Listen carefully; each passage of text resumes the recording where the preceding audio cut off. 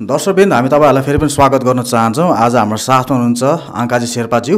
तपाईँलाई थाहा छ उहाँ निरन्तर तरिकाले चाहिँ आवाज उठाइरहनु भएको छ। विशेष गरी जनजाति आदिवासी भूमिपुत्रहरू लगायत समाजका पीडित दलितहरू र अरू समुदायको अल्पसङ्ख्यक धार्मिक समुदायको लागि उहाँले आवाज उठाइरहनु भएको छ। र अहिले एकदमै हट कुराहरू छ। तपाईँलाई थाहा छ अहिले समाजमा रामबहादुर बमजन जसलाई तपाईँ र हामीले चाहिँ लिटल बुद्ध अथवा बुद्ध बय भनेर पनि चिन्छौँ र उहाँको ओरिजिनल नाम चाहिँ ला राम लाल बा लाल बमजन रहेछ र उहाँ पक्रा पर्नु भएको छ। विभिन्न आरोप उहाँलाई लागेको छ। यो आरोप सही हो कि गलत हो भन्न हामी प्रयास गर्नेछौँ र साथसाथै उहाँलाई किन चाहिँ विभिन्न बुद्ध मार्गीका गुरुहरूले आरोप लगाइरहेछन् भन्ने कुरा पनि हामी जान्न प्रयास गर्नेछौँ। यसको विश्लेषण चाहिँ आदरणीय आङ्काजी सरले गर्नुहुन्छ। कृपया तपाईँले सुरुदेखि अन्तसम्म हेरेर हाम्रो साथी हजुरलाई स्वागत छ। धन्यवाद। अहिले यस तपाईँ त निरन्तर अब प्रेसरमा भइरहनु भएको छ होइन? तपाईँले हरेकचोटि आवाज उठाइरहनुहुन्छ। अनि अब पृथ्वी जयन्तीमा पनि तपाईँले आवाज उठाइरहनु भयो हामीले एउटा फोटो पनि हेऱ्यौँ। तपाईँले चाहिँ यो बिचको हमला ठाडो गर्नु भएको रहेछ र साथसाथै अब अहिले आएर फेरि रामबहादुर बमजनजी पक्रा पर्नु भएको छ। एउटा धर्मगुरु माथि ठुलो आक्रमण भएको छ र प अघिल्लो वर्ष पनि केही तामाङ समुदायमाथि र जनजातिमाथि चाहिँ उनीहरूले चाहिँ आफ्नै दिदीबहिनीलाई बिहे गर्छ भनेर आरोप पनि लागेको घटनाहरू तपाईँ र मेरो माझ सार्वजनिक भएको छ। यी बावजुद तपाईँलाई यति धेरै प्रेसर भइरहेको छ। कसरी आफूलाई सम्हाल्नुहुन्छ तपाईँले? अब अभियन्ता हो अभियन्ताको नाताले सबै घटनाक्रमलाई जसरी आउँछन् त्यही ढङ्गले नै समेट्दै त्यसलाई सम समाधान पनि बाटो खोज्दै हामी हिँडेका छौँ। अब जीवन जाँदै सडसठी वसन्त पार गर्दाखेरि यस्ता हजारौँ घटनाहरू होइनसँग जुध्यौँ प्रत्येक घटनालाई त्यही ढङ्गले विश्लेषण गऱ्यौँ अनि समस्याको त्यसको समाधान पनि त्यही ढङ्गले चाहिँ पत्ता लगाउँदै अहिलेसम्म अगाडि बढिराखेको छु। हजुर।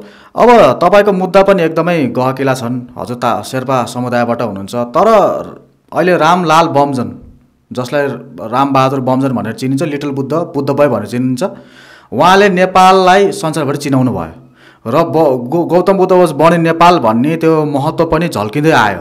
तर अहिले नेपालको यो एउटा बहुमूल्य हिरा माथि ठुलो आक्रमण भइरहेको छ। उहाँलाई जेल चलान भएको छ विभिन्न आरोपहरू उहाँलाई लागेको छ। यो आरोप कतिको सही हो अब यो आरोपमा कुनै आधार छैन। यदि यो आरोप पुष्टि गर्ने प्रमाण उहाँहरूसँग भइदिएको भए रामलाल बमजन तपस्वी हुनुहुन्छ उहाँ। चार वर्ष अगाडि नै उहाँलाई समाति सक्थ्यो किन भन्दाखेरि पीडितहरूले चार वर्ष अगाडि नै उहाँहरूको विरुद्धमा चाहिँ जाहेरी दिएको हो। र चार वर्षसम्म चाहिँ नेपालका प्रहरी किन कानमा तेल हालेर सुते र अहिले चाहिँ के कारणले बिउतिए भन्ने ठुलो प्रश्न छ। त्यसको पछाडिको मूल रहस्य के भन्दाखेरि उहाँहरूसँग जुन आरोप उहाँमाथि लागेको छ त्यो पुष्टि गर्ने कुनै आधार छैन। किनभने उहाँको आश्रममा प्रहरीले के अरे त्यो सुँगेर चाहिँ अपराध पत्ता लगाउने कुकुरदेखि लिएर होइन त्यहाँ चाहिँ पत्रकारदेखि लिएर त्यहाँबाट चाहिँ विभिन्न जिनिस साधनहरू प्रयोग गरेर त्यहाँका चाहिँ जमिनहरू खन्ने काम त्यो भित्रका चाहिँ के अरे कोठाहरूको चाहिँ निरीक्षण गर्ने काम सबै उहाँले पत्ता खोजे तर कहीँ पनि उहाँलाई केही पनि कुलो भेटाएन। खालि अनि उहाँले चाहिँ जिम हल रहेछ उहाँकोमा स्विमिङ रहेछ ए उहाँ त यस्तो पलङमा सुत्ते रहेछ। ए बाबा धर्मगुरु सामान्य मान्छे त आजकल कस्तो कस्तो मस्ती जङ्गल सुत्छन्। धर्मगुरु चाहिँ आठ लाखको पाँच लाखको पलङमा सुत्दा कुन अपराधहरू तपाईँको भन्नुहोस् न।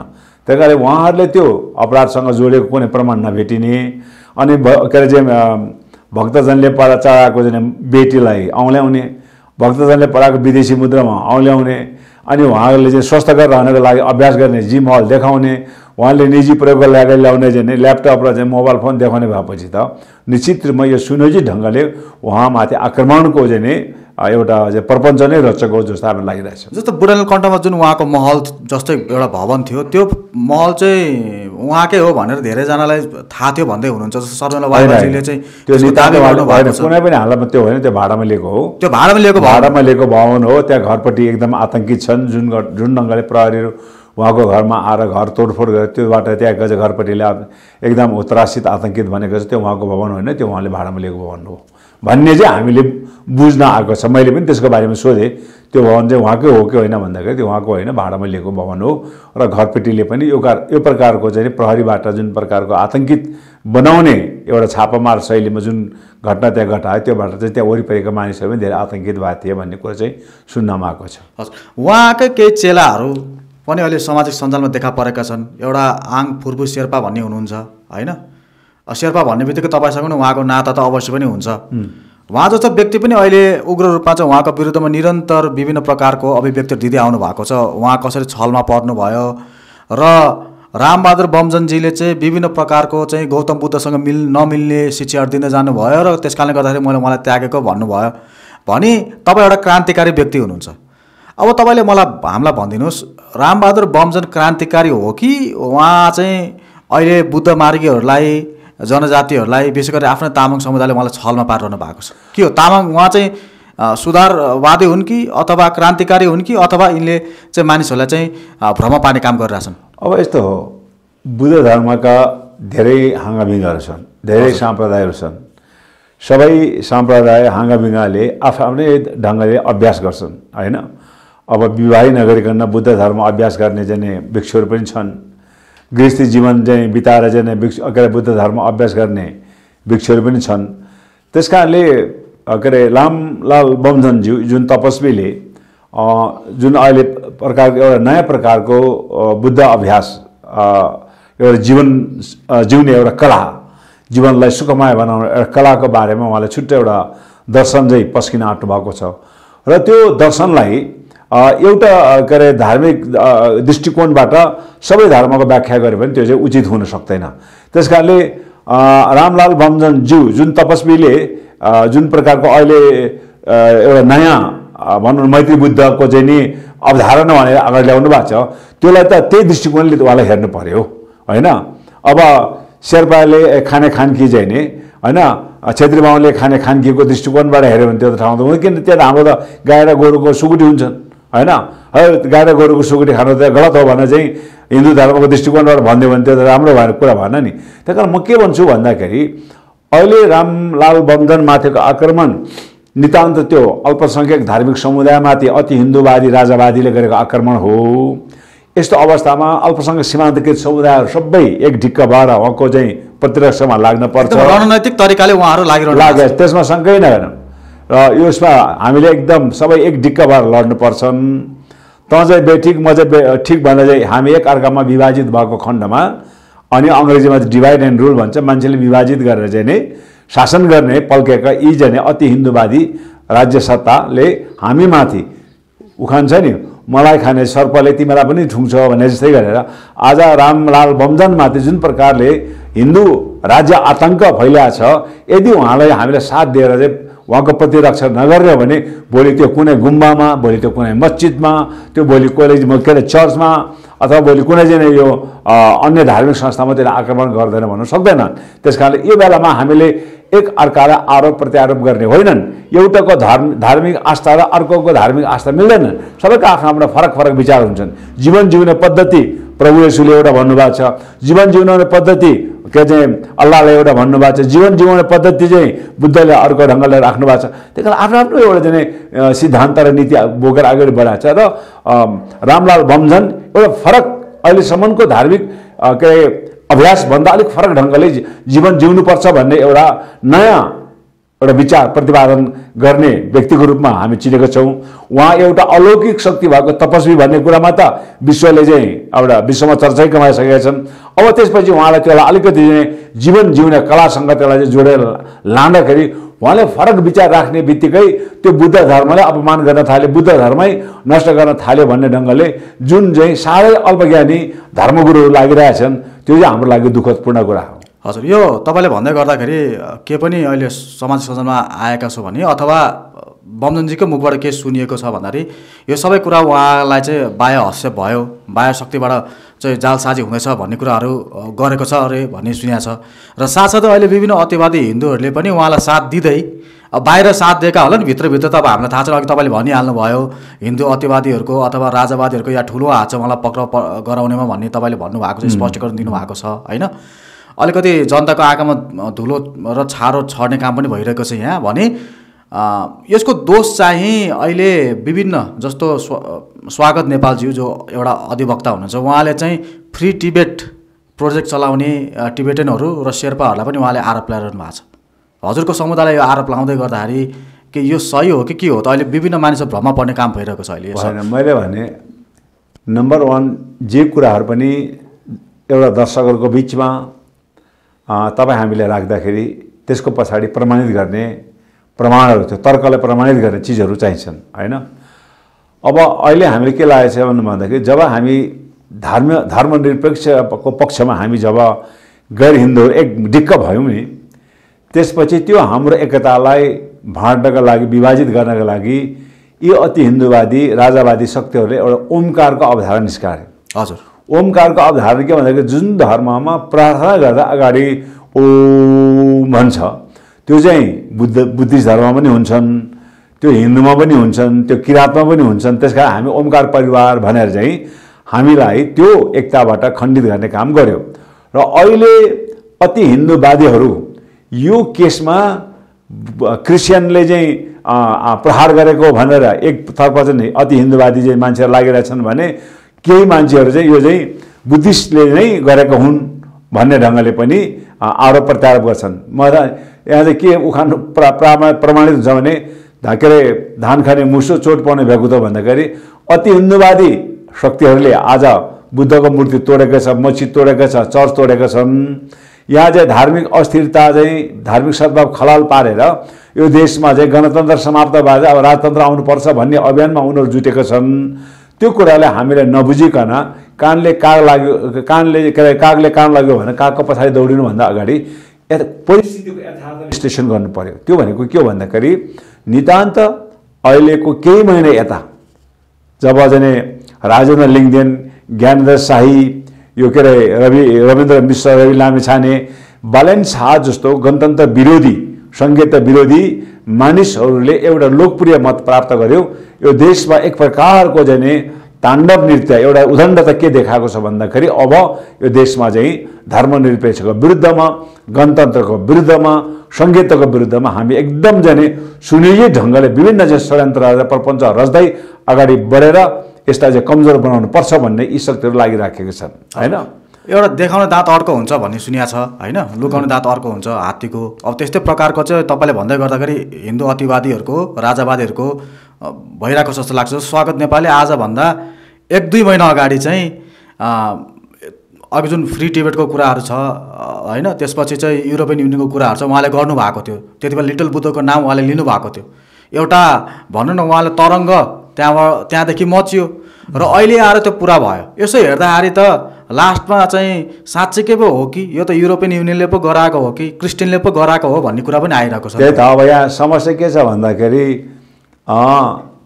बौद्ध हिमाली बौद्ध क्षेत्रहरूमा अहिले चार पाँच हजार चाहिँ बौद्ध धार्मिक गुम्बाहरू छन्। ती गुम्बाहरू म- माथि चाहिँ नि भ्रम पैदा गर्न चाहिँ यिनीहरू सबै फ्री तिब्बतका हुन्। यिनीहरूको चाहिँ के अरे गुम्बाहरूमा दलाइ लामाका चाहिँ नि हतियारहरू लुकाएका छन् भनेर चाहिँ हाम्रो जुन शेर्पा गुम्बामा धरि त्यहाँ पुलिसहरू चाहिँ खानतालिस गर्न आयो। होइन? यस्तो खालको मरगन्त यस्तो खालको दिग्भ्रमित कुराहरू आज हामीले त्यही भनिदिउँ नेपाललाई हिन्दू राज्य बनाउन भारतीय जनता पार्टीले पठाएको चाहिँ हतियार चाहिँ पशुपतिमा लुकाएको छ भने हामीले भनिदियो भने त्यहाँ खन्तलासी हुन्छ कि हुँदैन? त्यो पनि त भन्नु पऱ्यो नि। परेन? आज यहाँ गेरु वस्त्र लगाएर होइन धार्मिक आस्थाको या आडमा यिनीहरू राजा बित्राउनका लागि हतियार बोकेर चाहिँ यो के के चाहिँ पुरुष भन्नेहरू चाहिँ यहाँ लागेका छन् भन्यो भने त्यसको आश्रममा खन्तलासी हुन्छ हुँदैन। मान्छेलाई बिना प्रमाण आरोप लगाउनु पाउँछ कि पाउँदैन? यदि पाउने हो भने हामी भन्छौँ पशुपतिभित्र भारतीय जनता पार्टीले यो नेपाललाई हिन्दू राज्य स्थापना गर्नको लागि पुरा चाहिँ हात हतियार पठाएको छ भनेर यदि हामीले भन्यौँ भने त्यो स्वीकार्य हुन्छ? त्यो हुन सक्दैन। त्यसकारण अरू धा धा धार्मिक आस्था भनेको असित संवेदनशील विषय हो। यसको विरुद्धमा यसको बारेमा बोल्दाखेरि मानिसले धेरै पटक सोच्नुपर्छ। अनि यदि बोल्नै पर्यो भने पनि आफूले गर्ने तर्कलाई पुष्टि गर्ने यथेष्ट प्रमाण उहाँहरूसँग हुनुपर्छ। मैले भने आज केही हाम्रा बुद्धिस्ट लामाहरूलाई होइन प्रयोग गरेर रामबहादुर बमजनले बुद्ध धर्म नै नष्ट गर्न खोज्यो भन्ने ढङ्गले उहाँहरूलाई अन्तर्वार्ता दिन लागेको छ। ती धर्मगुरुहरूलाई म के भन्न चाहन्छु भन्दाखेरि मैले भने नि सबैका आफ्ना आफ्ना धार्मिक चरित्र हुन्छन्। उहाँहरू बौद्ध मार्गीहरू हुन्छन्। उहाँहरूको बौद्ध मार्गीमा एक थरी लामाहरू भ्याइ गर्नुहुन्न एक थरीक लामाहरू गृहस्थी जीवन बिताएर चाहिँ मजाले चाहिँ घर जग्गा चाहिँ खरिद गरेर चाहिँ नि धा- धार्मिक अभ्यास गर्न सक्नुहुन्छ। आजै तपाईँको चाहिँ थाइल्यान्डका चाहिँ बुद्धिस्टहरू हेऱ्यो भने त अचम्मै हुन्छ। उहाँहरूको नजरबाट हेऱ्यो भने यहाँ त कुनै पनि लामा ठिक हुँदैन। किनभने उहाँहरूको मूल केन्द्र के भन्दाखेरि बुद्ध आफैले सांसारिक माया मोह त्यागेर गृहस्थी जीवन त्यागेर एकदम चाहिँ नि बुद्ध चाहिँ उसको लाग्यो बुद्धको उसको मूल दर्शन के भन्दाखेरि बुद्धले आफूलाई जीवनलाई प्रत्येक दिन दिन गरेर जान्छ। एक एक दिन। त्यसै कारणले चाहिँ थाइका लामाहरूले बिहान उठ्ने हो त्यो दान माग्ने कचौरा लिएर जाने हो। जुन जति बेला एक घन्टामा दान माग्ने कचौरा भर्यो भने ल्याएर त्यो खाने हो ध्यान गर्ने हो। होइन? अब चार बजीसम्म पनि भरेन भने चार बजीसम्म बस्ने हो भरेपछि ध्यान गर्ने हो। खाइसकेपछि त्यो घप्टाउने हो। त्यो घप्टाउने मतलब त्यो अहिले आवश्यक छैन। अब फेरि भोलि बाध्य गयो नबाध्य थाहा छैन भोलि भने उठ्यो। अब उहाँहरूको वस्त्र हेऱ्यो भने जुत्ता नलाइकन चाहिँ क- भन्छ घाँसले बनाएको चप्पल लाउनुहुन्छ होइन? बिहानै पछि स्नान गर्नुहुन्छन् अब त्यो त्यो दृष्टिकोणबाट चाहिँ यदि यहाँकै चाहिँ अब गुम्बाका लामाहरू हेऱ्यो भने त्यो त गलत ठाउँमा पुग्छन् होइन? अब अवतारी लामाहरू हुन्छन् जो चाहिँ एकदम अलौकिक चाहिँ एउटा शक्ति प्रदर्शन गरेर पूर्व चाहिँ लामाका अवतारको रूपमा प्रदर्शन भएको हुन्छन्। सानो चार पाँच वर्षको बालबच्चाले चाहिँ असाध्य चाहिँ हामीले पत्याउनै नसक्ने चिजहरू उहाँले चाहिँ प्रदर्शन गर्नुहुन्छन्। अनि अब त्यसलाई के भन्ने? त्यही कारण म के भन्छु भने सबैका आफ्ना आफ्ना मापदण्ड छन् अभ्यास गर्ने तरिकाहरू छन् होइन? त्यही कारण अहिले चाहिँ हामीले के बुझ्नु पर्यो भन्दाखेरि रामलाल बमजन एउटा तपस्वीले एउटा बुद्ध धर्मभित्र एउटा फरक विचार लिएर अगाडि आइराखेको छ होइन? किनभने सबै चिज त समय सापेक्षित त्यसको चाहिँ सुधार हुनु पर्यो नि त होइन? भनेपछि उहाँ एउटा तपाईँले उहाँलाई अघि मैले सोधे जस्तै उहाँ एउटा क्रान्तिकारी सुधारवादी हुनुहुन्छ। म भन्छु उहाँले एउटा फरक विचार लिएर अगाडि आउनु भएको छ। बुद्धलाई व्याख्या गर्ने बुद्धको जीवन जिउने कलालाई कसरी उ गर्ने? अब मानिस हेर्नुहोस् तपाईँ मैले देखेको छु। त्यही बुद्ध धर्म प्र्याक्टिस गर्ने मान्छे हातमा चाहिँ तपाईँको चाहिँ कपास बेरेर अनि यसलाई चाहिँ यस्तो चाहिँ दियो बनाएर यहाँ चाहिँ तेल राखेर हातमा चाहिँ दियो बालेर बसेको पनि छ। मानिसले त जे गर्यो त्यो हुन्छ नि हुँदैन भन्नुहोस्। अब तपाईँको त तपाईँलाई म भन्छु अब हाम्रो यहाँ के अरे सुन्दर भन्यो भने एउटा चाहिँ तपाईँ प्रारूप हामीले कल्पना अब अफ्रिकातिर तपाईँको यहाँ यो ओठमा हाम्रो चाहिँ यत्रो चाहिँ चिया खाने प्लेटभन्दा पनि भित्र यसो छिराएर ओठ यत्रो लामो चाहिँ बाहिर निकाल्छन्। त्यो उहाँहरूको नजरमा चाहिँ सुन्दर सुन्दरता त्यो हो अब उहाँहरूको दृष्टिकोणबाट हेऱ्यो भने त हामी त कोही पनि सुन्दर सुन्दरै हुन सकेन अथवा हाम्रो दृष्टिकोण हेरेर उहाँ त छ। अर्को छन् फेरि तपाईँको घाँटी तपाईँको झन्डै झन्डै बकुलाको भन्दा लामो घाँटी तन्काउने स्प्रिङ हाल्दा आफ्नो घाँटी तन्काउने प्रचलन छ। त्यही कारण आफ्नो आफ्नो के अरे कला शैली हुन्छन् त्यही कारण हामीले एक अर्काको कला शैलीलाई आफ्नो दृष्टिकोणबाट व्याख्या भने उहाँकै दृष्टिकोणबाट त्यसलाई व्याख्या गर्नु पर्यो अनि आज के अरे आङफुरी शेर्पाले चाहिँ के अरे लामलाल भमजनको के अरे गलत भन्ने हे त्यो आङफुरी त मेरोमा आएको थियो त्यो त यस्तो भन्न थाले। एक हामी अर्कामा आरोप प्रत्यारोप गऱ्यो भने त्यो राम्रो हुँदैन। मैले अझै हिजो एकजना लामाले पनि यसकै बारेमा बोल्दै हुनुहुन्थ्यो। नबोल्नुहोस्। बुद्ध धर्ममा कहिले पनि एक अर्काको आलोचना प्रत्यालोचना नगर्नु भन्छ। हेर्नुहोस्।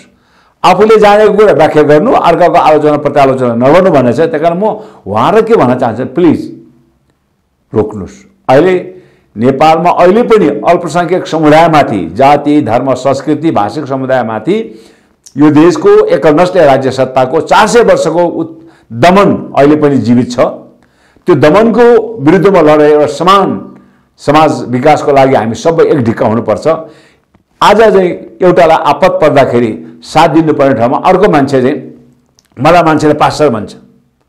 किन पास्टर भन्छ भने आज क्रिस्चियन समुदायमाथि हिन्दू धर्मका चाहिँ पण्डितहरू होइन भागवत गीता रामायण महाभारत स्वस्थानी व्रतको किताब बोकेर गाउँ गाउँमा जाने प्रवचन कथा प्रवचन गर्दै हिँड्न पाउने अनि आज क्रिस्चियन समुदायहरू आफ्नै चर्चमा जाँदा एउटा बाइबल बोकेर जान सक्ने स्थितिमा छैन। एक ठाउँबाट अर्को ठाउँमा बाइबल बोकेर हिँड्नेमा धर्म प्रसारको अभियोगमा उसलाई चाहिँ यातना दिइन्छ। त्यही कारणलाई त्यसको विरुद्धमा हामीले बोल्ने हो।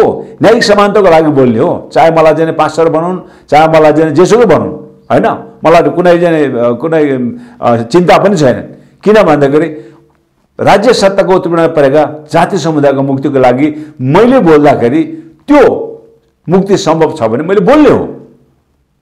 आज राज्यले थिचोमिचो गरेका मानिसहरूको मुक्तिको लागि बोल्नु त कता कता अनि राज्यसँगै मिलेर आज त्यो माथि त्यसलाई न्याक्नुपर्छ त्यसलाई समाप्त पार्नुपर्छ भनेर त्यही उत्पीडित जाति समुदाय बोल्यो भने त अनि त्यसले त भोलि उसलाई पनि त त्यो आपत आउँदैन भन्न सक्दैन। हजुर। अघि हामीले छलफल गर्दा गर्दै राजावादी हिन्दूवादीको नाम त आयो।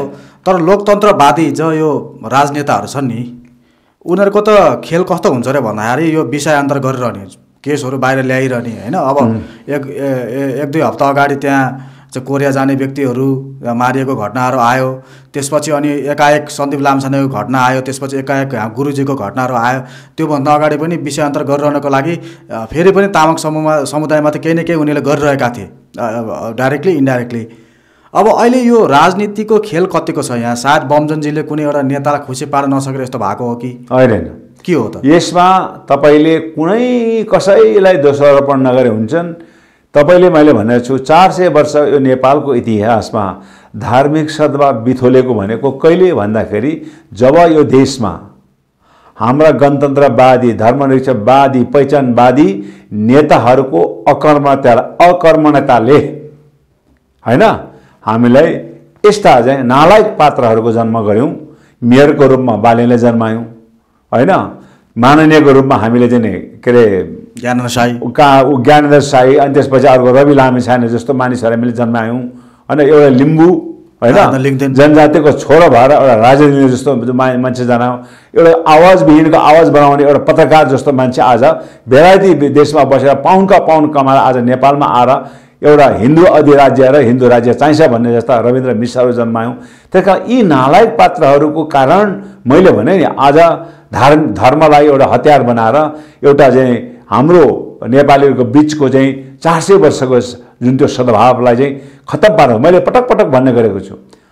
यो एजेन्डा हिन्दू अधिराज्य र हिन्दू राज्यको एजेन्डा बोकेर त यो चाहिँ रवि लामी छाने यो के भन्छ ज्ञानेन्द्र शाही यो राजेन्द्र लिङ्गदेन आउनुभन्दा अगाडि त कमल थापा आएको हो नि।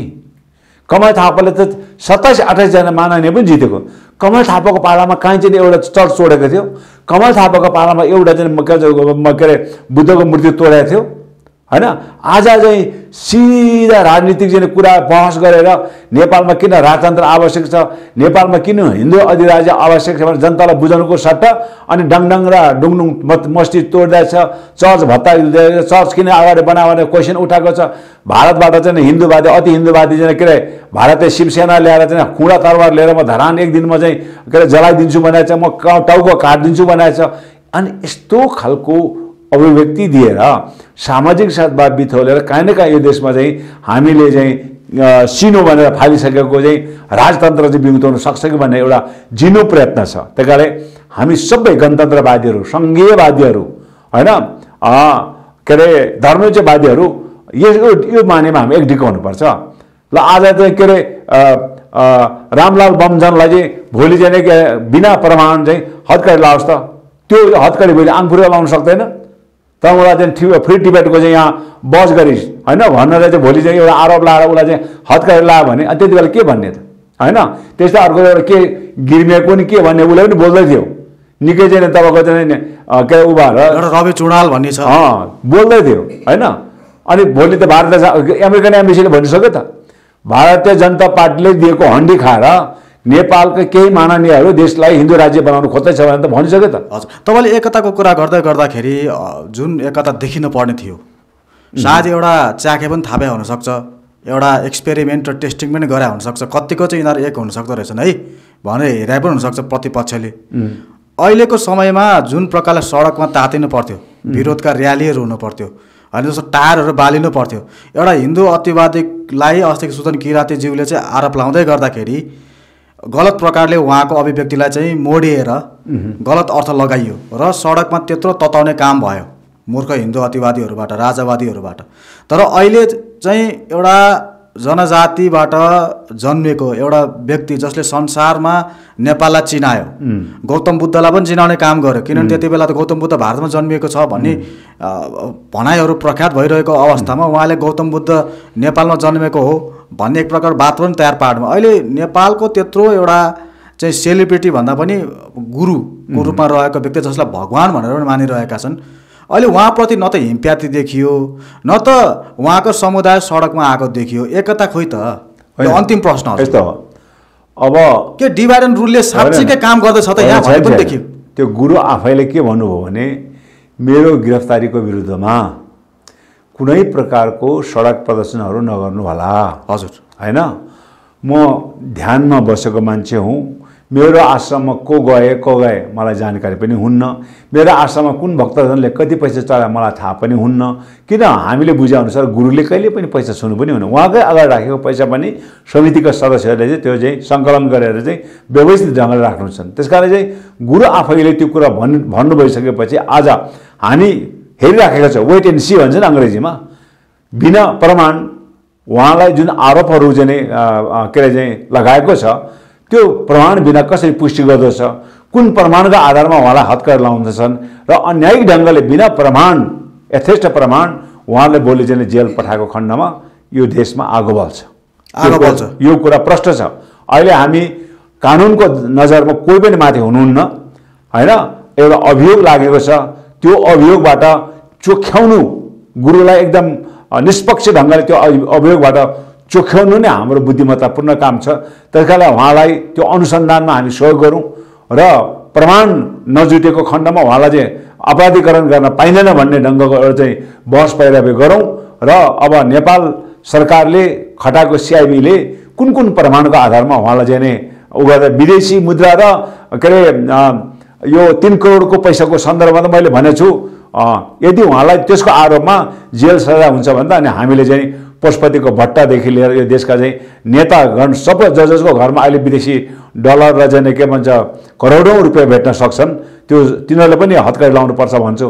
अन्य त अन्य आरोप यदि पुष्टि नभएको खण्डमा उहाँलाई बिना कारण पूर्वपक्षमा राखेर मुद्दा चलाउने मात्रै पनि काम गर्यो भने यो देशमा आगो त्यसपछि के के बल्छ हामी सब थोक भाल्न तयार छौँ।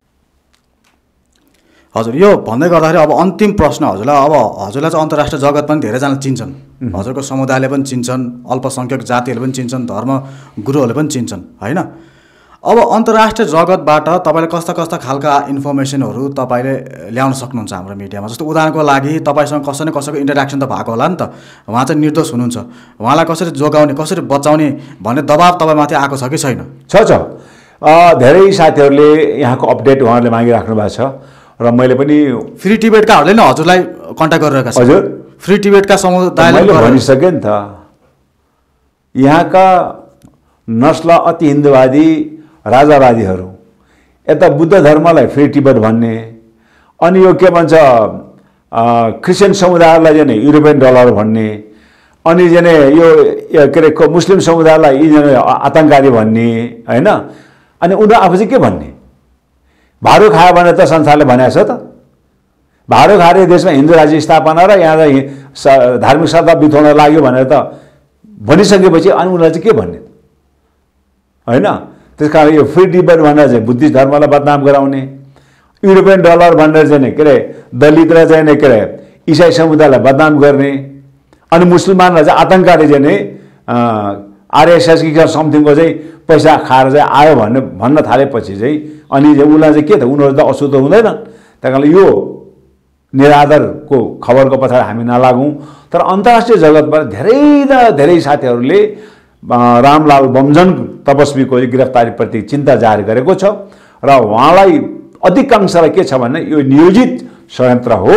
र निष्पक्ष छानबिनको पक्षमा रहनुपर्छ र प्रत्येक छानबिनलाई हामीले सूक्ष्म ढङ्गले हेर्नुपर्छ र हाम्रो तर्फबाट पनि यथेष्ट उकेल राखेर उहाँको चाहिँ थुन उहाँको चाहिँ मुद्दामा बहस पैरवी हुनुपर्छ भनेको छ र हामीले पनि अहिले उहाँको प्रतिरक्षाका लागि नेपालको धेरै प्रतिष्ठित वकिलहरूलाई हामीले चाहिँ उहाँसँग परामर्श गरिराखेका छौँ।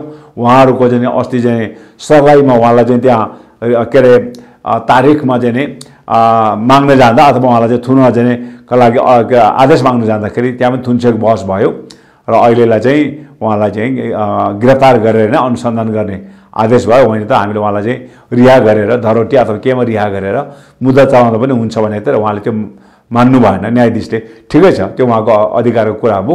ठिक छ अब उहाँलाई लामो समयसम्म नराखियोस्। चाँडो से चाँडो कानुनले दिएको मेरो चाहिँ एक्काइस बाइस दिनभन्दा बढी चाहिँ अनुसन्धानमा राख्न पाइँदैन त्यसपछि सरकारले चाहिँ मुद्दा ओ सरकारी वकिल मार्फत दायर गरेपछि त्यसपछि हामीले पनि आफ्नो चाहिँ बहस पैरवी गर्न पाउँछौँ। त्यसपछि मलाई विश्वास छ बिना आधार प्रमाण चाहिँ समातेको हुनाले उहाँ चाहिँ रिहा हुने कुरामा पूर्ण विश्वास छु। हस्। हस् दर्शक पनि तपाईँलाई एकदम धन्यवाद छ। सुरुदेखि अन्तसम्म हामीलाई हेरेर साथ दिनुभएको छ। हामी आङ्काजी सरलाई पनि धन्यवाद दिन चाहन्छौँ। हामी कामना गर्न चाहन्छौँ उहाँ आफ्नो अभियन्तामा सफल हुनुभएको होस्। राजनीतिक पार्टी जहाँ उहाँ संलग्न हुनुभएको छ त्यो पार्टी फलिफाप भएको होस् र उहाँद्वारा विभिन्न अल्पसङ्ख्यक त्यस्तै गरी जनजाति आदिवासी र अरू जो जति छन् पीडित वर्गहरू पनि उनीहरूमा केही सुधार आओस् होइन उनीहरूको चाहिँ फलिफाप होस् समृद्धि होस् भनेर हामी कामना गर्न चाहन्छौँ। आज हाम्रो बसाइलाई यहीँ अन्त गर्न चाहन्छौँ। आगामी दिनमा फेरि पनि केही विषयवस्तु आयो भने हामी फेरि अङ्काजी अ, शेर्पाज्यूको फरक ठाउँमा फरक अवतारमा हामी उहाँको चाहिँ अन्तर्वार्ता लिइरहनेछौँ र उहाँको अभिव्यक्ति तपाईँहरूको माझ राखिदिनेछौँ। आज हामीलाई बिताइदिनुहोस्। हस्त नमस्कार।